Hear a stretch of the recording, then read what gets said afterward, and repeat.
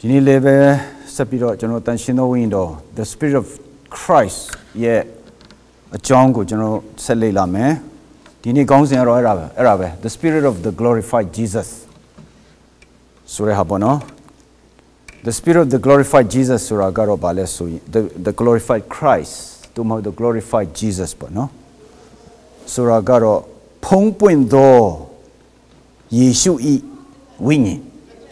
နော် ဘုံပွင့်သောယေရှုဤဝိညာဉ်အဲ့ဒါကျွန်တော်တို့ကြည့်တဲ့အခါမှာဆိုရင်ယောဟန်ခရစ်ဝင်အခန်းကြီး9အငယ်38 39မှာဘယ်လိုပါလဲဆိုတော့အဲ့ဒီမတိုင်ခင်လေးမှာ39မှာဆိုရင်ဘယ်လိုပြောလဲဆိုရင်ရေငတ်တော်သူရှိလင်ငါထံသို့လာ၍တောက်လို့ ဆိုပြီးတော့ခရစ်တော်ကပြောတယ်နော်ခရစ်တော်ကရေငတ်တော်သူရှိလင်ငါထံသို့လာ၍တောက်လို့လို့ပြောတဲ့အခါမှာဒီကျွန်တော်တို့တောက်နေတဲ့ရေငတ်တာကိုသူဆိုလိုတာမဟုတ်ပါဘူးနော်ဝိညာဉ်ရေကိုငတ်တဲ့လို့ပြောတာဖြစ်တယ်ဝိညာဉ်ပိုင်းဆိုင်ရာငတ်တဲ့လူနော်အဲဝိညာဉ်ပိုင်းဆိုင်ရာငတ်တဲ့လူကခရစ်တော်စီကိုလာဖို့လိုတယ်ခရစ်တော်စီကိုတွားဖို့လိုတယ်ပြီးရင်တောက်ဖို့လိုတယ်အဲ့တော့ အဲ့ဒီခါမှာဆိုရင်ငါကိုယုံကြည်သောသူသည်တဲ့ကျမ်းစာလာသည့်အတိုင်းအသက်ရည်ထွက်ရာစမ်းရည်တွင်ဖြစ်လိမ့်မယ်ဆိုပြီးတော့ပြောခဲ့ပါတယ်အဲ့ဒီမှာဒီအသက်ရည်ထွက်ရာအနိုင်တုန်ကစုံတဲ့စီအာဟိတဗေခရွန်အော်စင်ငါကို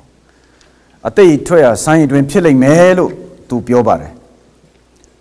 အဲ့ဒီမှာကျမ်းစာထဲမှာပဲဒါကိုဒါဟာဘာဆိုလိုတယ်လဲဆိုရင်တန်ရှင်းသောဝိညာဉ်တော်ကိုဆိုလိုတာဖြစ်ပါတယ်ဆိုပြီးတော့ကျမ်းစာကပဲရှင်းပြပါတယ်နော်သူကလူတွေနားလည်နိုင်အောင်လူတွေမြင်မြင်နိုင်အောင်မြင်နိုင်တဲ့တန်ရှင်းသောဝိညာဉ်တော်ကိုမြင်နိုင်တဲ့ရည်နဲ့သူကနှိုင်းပြီးတော့ပြောနေတာဖြစ်တယ်ဆက်ပြောသွားတာကတော့ဒီမှာကျွန်တော်တို့အောက်ပိုင်းမှာကျွန်တော်ဆက်ဖတ်သွားမယ်ဆိုရင်39မှာဆိုရင် ယေရှုသည်ဘုံပွင့်တော်မမူသေးသောကြောင့်တန်ရှင်းသောဝိညာဉ်တော်ကိုပေးတော်မမူသေးအဲ့တော့ဒီနေ့ကတော့ဒီဟာကကျွန်တော်ဖတ်တဲ့အထက်မှာဒီဟာကနည်းနည်းလေးအာအာခက်ခဲပါတယ်နော်ဒါဆိုတော့နောက်တစ်ပတ်လဲကျွန်တော်ဆက်ပြောမယ်ဒီပထမပိုင်းမှာတော့ကျွန်တော်တက်နိုင်တဲ့လောက်လေးဒီနေ့အချိန်ရတဲ့လောက်လေးမှာကျွန်တော်ဝင်ခပြီးရင်တော့ဒီလိုပဲသွားမယ်ရှေ့ပတ်ကြမှာပဲဆက်ပြီးတော့ဟို ကျန်တဲ့အပိုင်းကိုဝင်ခပါမယ်ဆိုတော့ဒီကိုဟာကိုကြည့်တဲ့အခါမှာနှစ်ပိုင်းပေါ့နော်ခရစ်တော်ကသူ့ကိုယုံကြည်တဲ့လူကတော့သူ့အထဲကနေပြီးတော့အသက်ကြီးထွက်ရဆန်းရည်တွင်ဖြစ်မယ်တနည်းအားဖြင့်ဒီတန်ရှင်သောဝိညာဉ်တော်ထွက်မယ်ဆိုတဲ့ဟာပေါ့နော်စီးဆင်းမယ်အသက်ပေးမယ်ကောင်းကြီးရစေမယ်ဒါခရစ်တော်ဂတိပေးတဲ့ဟာဖြစ်တယ်သူ့ကိုယုံကြည်တော်သူနော် အဲ့ဒါခရစ်တော်ရဲ့ promise ခရစ်တော်ရဲ့စကားဖြစ်တယ်ဂတိဖြစ်တယ်ဒါပေမဲ့အောက်မှာယေရှုသည်ဘုံပွင့်တော်မမူသေးသောကြောင့်တန်ရှင်သောဝိညာဉ်တော်ကိုပေးတော်မမူသေးဆိုတဲ့စကားကိုကျွန်တော်ဒီနေ့နော်အဲ့ဒီအပိုင်းကိုစဉ်းစားဖို့ဖြစ်ပါတယ်နော်ဖုံးပွင့်တော်မမူသေးဘူးလောကမှာပဲရှိသေးတယ်သူဘုံမပွင့်သေးဘူးတေခြင်းကတော့ရှင်ပြန်ထမြောက်ပြီ အဲ sorry ဒီယောဟန်6မှာတော့အဲ့ဒါတွေမရှိသေးဘူးလေတေတောင်မတေသေးဘူးဆိုတော့လူသားအနေနဲ့ပဲရှိသေးတယ်တန်ရှင်တော်ဝင်တော်ဘိတ်တိတ်မှုရှိပါတယ်တို့ရတွင်သူ့ရဲ့ဘုံပွင့်ခြင်းမရှိသေးဘူးဘုံပွင့်ဖို့အတွက်အရင်တေဖို့လိုတယ်နော်ဒီလို step ပြီးမှတေရမယ်တကြူရမယ်ရှင်ပြန်ထမြောက်မယ်ပြီးမှကောင်းကင်နိုင်ငံမှာဘုရားသခင်ရဲ့လက်ရလက်မှာရောက်ပြီးတော့ဘုရားသခင်ကသူ့ကိုဘုံပွင့်စေမယ် အဲအဲ့ဒီဘုံပွင့်ပြီးမှပဲတန်ရှင်းသောဝင်တော်ပေးမှဖြစ်တယ်ဒါကြောင့်ဘုံပွင့်မပွင့်သေးတဲ့အတွက်ဘုရားသခင်ကတန်ရှင်းသောဝင်တော်လည်းမပေးသေးဘူးဆိုတော့ကိုကျမ်းစာထဲမှာမှတ်တမ်းတင်ထားတာကိုကျွန်တော်တွေ့ရတယ်ဒီဘုရားသခင်ကသူ့ကိုယ်သူဖော်ပြတဲ့အခါမှာကျွန်တော်ကျမ်းစာထဲမှာဘယ်လိုတွေ့ရလဲဆိုရင်ဘုရားသခင်ကနှစ်ပိုင်းအနေနဲ့သူ့ကိုယ်သူကျမ်းစာထဲမှာဖော်ပြတာကိုကျွန်တော်တွေ့ရတယ်ပထမအပိုင်းကတော့ဒီကျွန်တော်တို့ဓမ္မဟောင်းကျမ်းမှာဆိုလို့ရှိရင်ဖရာသခင်ဟာသူ့ကိုယ်သူ ဖရာအနေနဲ့ဖော်ပြတယ်သူ့ကိုယ်သူထာဝရဖရာအနေနဲ့ဖော်ပြတယ်အလွန်အလွန်တကူးကြီးတဲ့ဖရာအလွန်အလွန်မှအစွမ်းထက်တဲ့ဖရာတစ်ဖက်ကပြောမယ်ဆိုရင်အလွန်ကြောက်စရာကောင်းတဲ့ဖရာအဲ့ဒီလိုမျိုးနဲ့သူ့ကိုယ်သူဖော်ပြတယ်လူတွေကိုဖယားအနေနဲ့ဖော်ပြတယ်သူ့ကိုယ်သူဓမ္မသစ်ကျမ်းမှာတော့သူ့ကိုယ်သူအဖအနေနဲ့ဖော်ပြတယ် သားသမီးတွေရဲ့ဖခင်အဖေတဖွယ်သူ့ကိုယ်သူဖော်ပြတယ်ဖယားသခင်ကဆိုဖယားသခင်ကသူ့ကိုယ်သူဖော်ပြတဲ့နေရာမှာနှစ်ပိုင်းဖော်ပြတာကိုကျွန်တော်တွေ့ရတယ်ဓမ္မဟောင်းမှာဆိုရင်တော့ဖယားသခင်သာဝရဖယားတကူရှိတဲ့ကြောက်စရာကောင်းတယ်ဒီလိုမျိုးနော်ဓမ္မတစ်မှာတော့အင်မရန်ချစ်ပွေကောင်းတယ်အင်မရန်ယဉ်ဟိဖို့ကောင်းတယ်ဖခင်အနေနဲ့အ ဖအနေနဲ့သူ့ကိုယ်သူဖော်ပြတာကိုကျွန်တော်တွေ့ရတယ်သားတော်လို့ကျွန်တော်ပြောတဲ့အခါမှာဘုရားသခင်ရဲ့သားတော်ဟာသာဝရကာလကရိယာနေသူ့ရဲ့ဖခင်နဲ့အတူတူအမြဲတမ်းနေတဲ့ဖခင်ရဲ့သားတော်ဖြစ်တယ်နှုတ်ပတ်တော်လို့လည်းခေါ်တယ်အဲ့ဒီသားတော်က तू ကဇာတိလူဇာတိ အသွေးအသားကိုခံယူပြီးတော့လာတယ်ရှင်ယောဟန်14နော်အသွေးအသားကိုခံယူပြီးတော့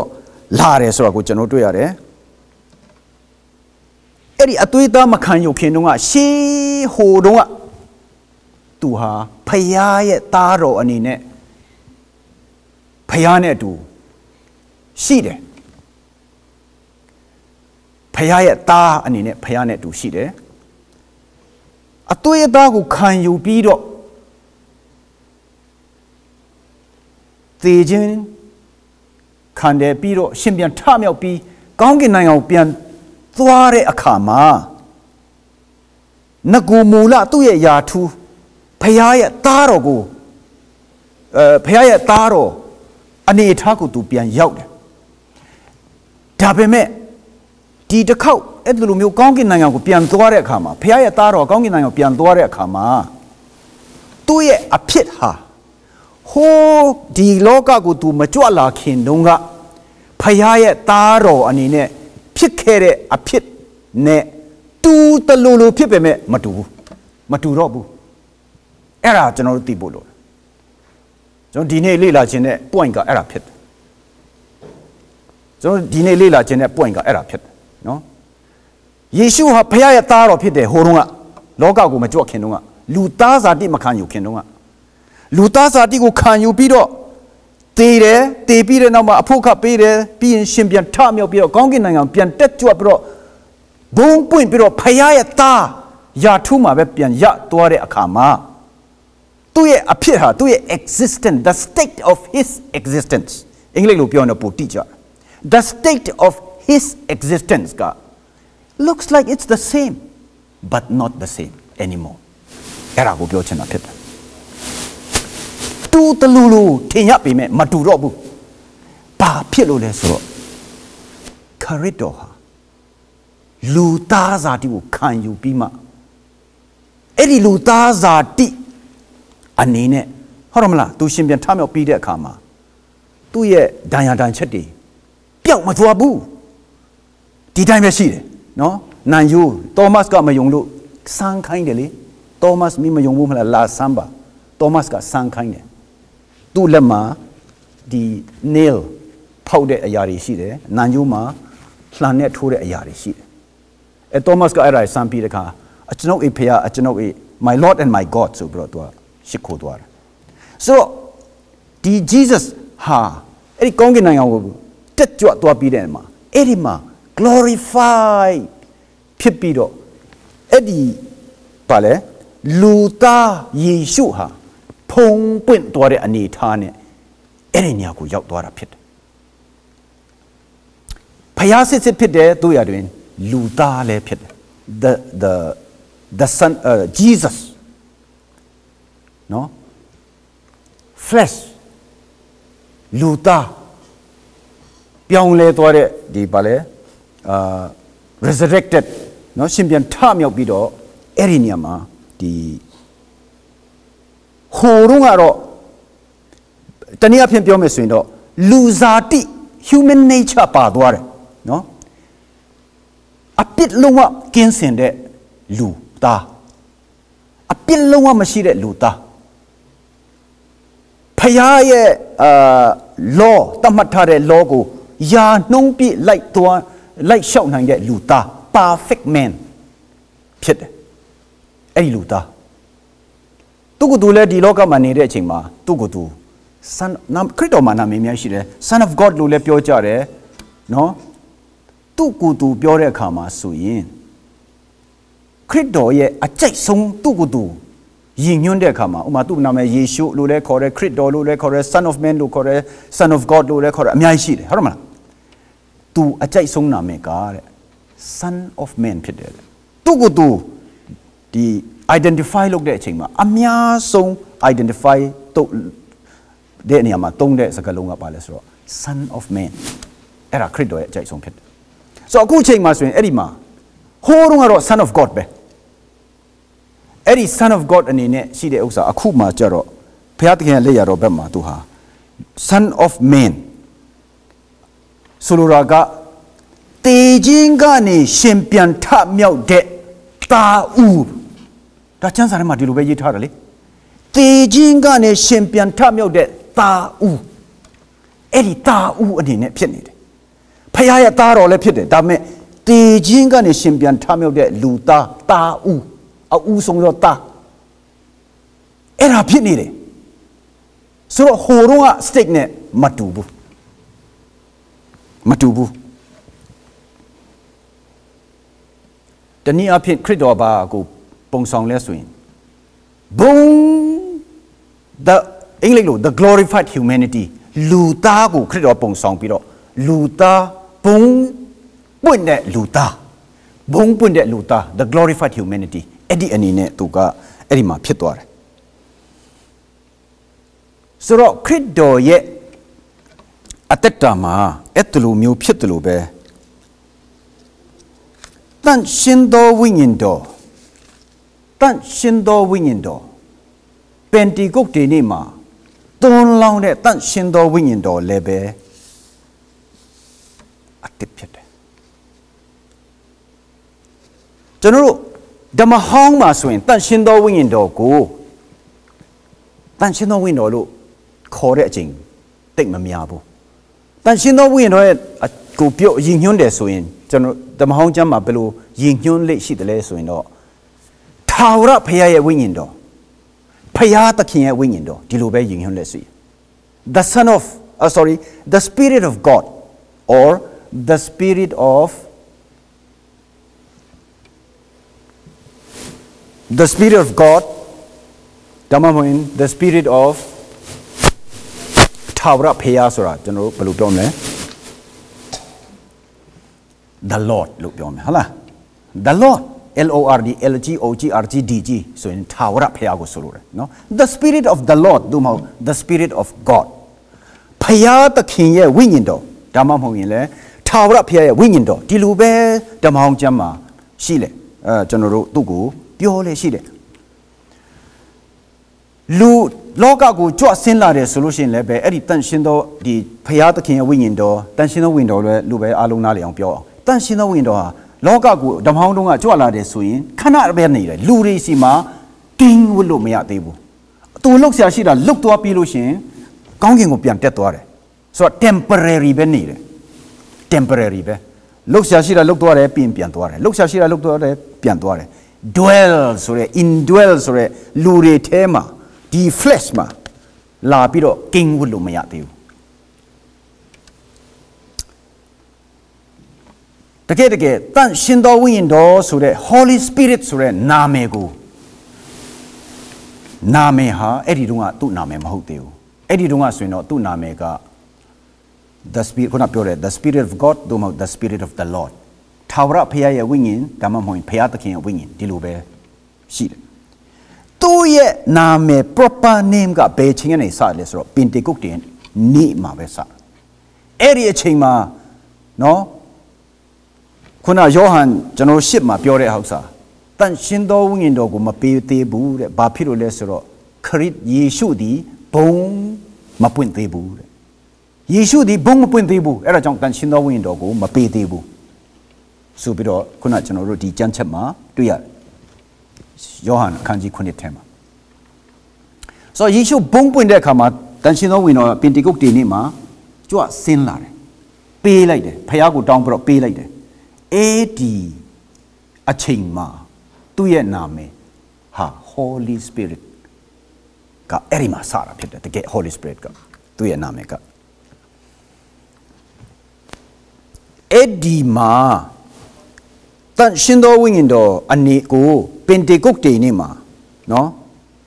ဆင်းသက်လာတဲ့အခါမှာဘာအနေနဲ့ဆင်းသက်လာတယ်လဲဆိုတော့ the spirit of the glorified Jesus အနေနဲ့ဆင်းသက်လာတာဖြစ်တယ်။ ဘာဖြစ်လို့လဲဆိုတော့ယေရှုဟာဘုံမပွင့်သေးဘူးဆိုရင်အဲ့ဒီတန်ရှင်တော်ဝိညာဉ်တော်ကရှေလို့ဆလွတ်လို့မရဘူး။ဘာလို့တန်ရှင်တော်ဝိညာဉ်တော် the spirit of God အနေနဲ့ပဲရှိတယ်။အဲ့ဒီ the spirit of God တို့မဟုတ် the spirit of the Lord ဟာလူအထဲမှာလာလို့မရဘူးလူသေသွားမယ်။လူကခံယူလို့မရဘူး။နော်ပထမဦးဆုံးအဲ့ဒီ the spirit of God or the spirit of the Lord ကို ခံယူပေးတော်သူဒီဘယ်သူလဲဆိုတော့ယေရှုကိုယ်တိုင်ဖြစ်တယ်လူသားယေရှု the son of man သူကပထမဦးဆုံး the spirit of God ကိုသူ့အထဲမှာခံယူပြီးတော့သူ့အထဲမှာကင်းဝတ်စေပြီးတော့နေတဲ့လူသားပထမဦးဆုံးဟာခရစ်တော်ကိုယ်တိုင်ပဲဖြစ်ပါတယ်ယေရှုကိုယ်တိုင်ပဲဖြစ်ပါတယ်ဒါပေမဲ့အဲ့ဒီယေရှုဟာဘုံမပွင့်မချင်း the spirit of the glorified Jesus နော်အဲ့ဒီဝိညာဉ်ကိုဒီလောကကိုဆေလွတ်လို့မရဘူးဆေလွတ်လို့မရဘူးဆိုတော့ तू glorify ဖြစ်တဲ့ဥစ္စာနဲ့ तू glorify ဖြစ်သွားတဲ့အခါမှာတနည်းအားဖြင့် the son of god ကိုပြန်ဖြစ်သွားတယ်ငကူနေရငကူအတိုင်းသူ့ရဲ့ဖယားရဲ့သား king ရှင်ဘရင်ဩဇာအာဏာအကုန်လုံး authority လောကမြကြီးအကုန်လုံး authority အကုန်လုံးရှိတဲ့ဖယားရဲ့သားဟိုတုန်းကနာဇရက်မြို့သားယေရှုမဟုတ်တော့ဘူး တကယ်ရှင်ယောဟန်ဆိုရင်တွေ့လိုက်တဲ့ခါမှာလဲသွားတယ်ကြောက်လွန်းလို့ရှင်ယောဟန်ဟာဘာတူလဲခရစ်တော်လူသားဖြစ်တော့ကချစ်လွန်းလို့ယဉ်နေလွန်းလို့ခရစ်တော်ရဲ့ယင်ဘတ်မှာတောင်းကလဲလျောင်လေးရှိတဲ့တပည့်တော်ဖြစ်တယ်ခရစ်တော်အင်မရန်ချစ်တဲ့တပည့်ဆိုပြီးတော့ကျမ်းစာထဲမှာမှတ်တမ်းတင်ထားတယ်အေးဒီလူကပတ်မော့စ်ဂျွန်းမှာခရစ်တော်ကိုတွေ့တဲ့အခါမှာအခုသူ့ရဲ့ယာထိုးအရှိအနီး stick အခုသူ့ရဲ့ stick နော်ခရစ်တော်သူရှိတဲ့ stick အတိုင်းသူတွေ့တဲ့အခါမှာဘာဖြစ်သွားလဲကြောက်လွန်းလို့လဲသွားတယ်ကြည့်တော့မကြည့်နိုင်ဘူးဒါခရစ်တော်ရဲ့ရှိတဲ့အခြေအနေဖြစ်တယ်ဆိုတော့အဲ့ဒါက the glorified Jesus ဖြစ်တယ်ဘုံပွင့်တဲ့ယေရှုအဲ့ဒီလိုဘုံပွင့်တဲ့အနေထားကြမှာပဲတန်ရှင်သောဝိညာဉ်တော်ကိုသူစေလွတ်လို့ရတယ် တပြိုင်နက်ဖြစ်တယ်ဖြစ်ဖြစ်သွားတာဖြစ်တယ်အဲ့ဒီဥစ္စာကတပြိုင်နက်အဲ့မှာ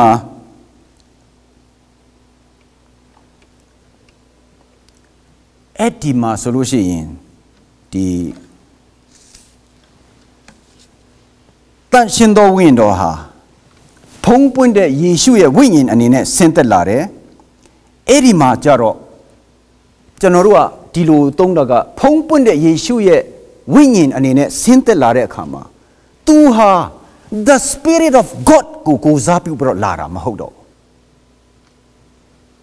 the spirit of god ကိုကိုစားပြီးတော့လာတာမဟုတ်တော့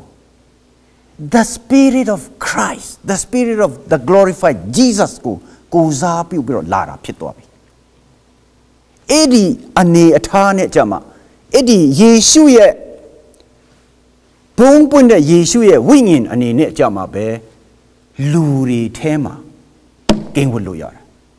ကင်းဝတ်တဲ့အခါမှာလူကလည်းဘာမှပြဿနာမရှိဘူး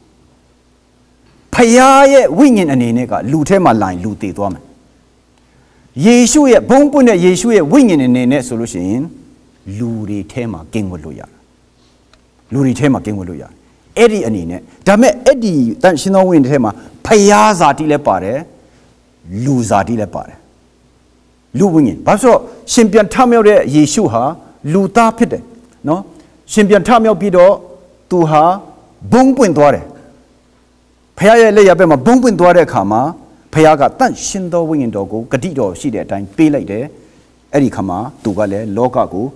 တွန်းလောင်းလိုက်တယ်လောလောကကိုလောကကိုသူကတွန်းလောင်းလိုက်တယ်အဲ့ဒီတွန်းလောင်းလိုက်တဲ့တန့်ရှင်သောဝိညာဉ်တော်ဟာရှင်ပြန်ဒီပါလေဘုံပွင့်တဲ့ယေရှုရဲ့ဝိညာဉ်ဖြစ်ပါတယ် အဲ့ဒီဝိညာဉ်ဟာ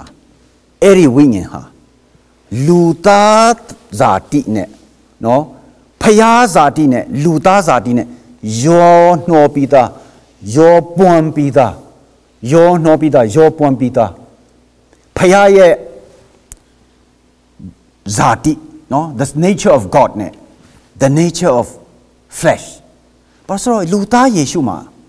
လူသားယေရှုဟာဘာလဲ god man ဖျားလည်းဖြစ်လူလည်းဖြစ်ဖျားလည်းဖြစ်လူလည်းဖြစ်လူလည်းဖြစ်တယ်ဖျားလည်းဖြစ်တယ်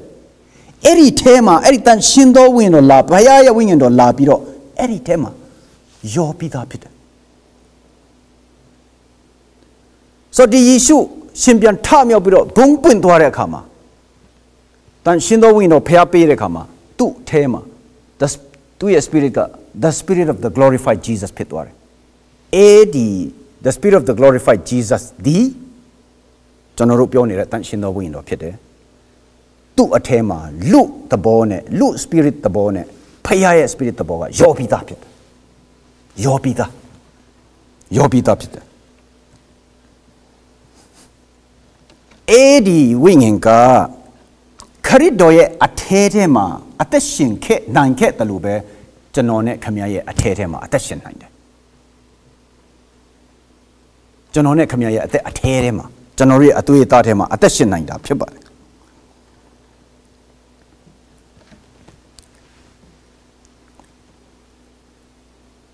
ဒါပေမဲ့အဲ့ဒီဝိညာဉ်ဟာဖဲ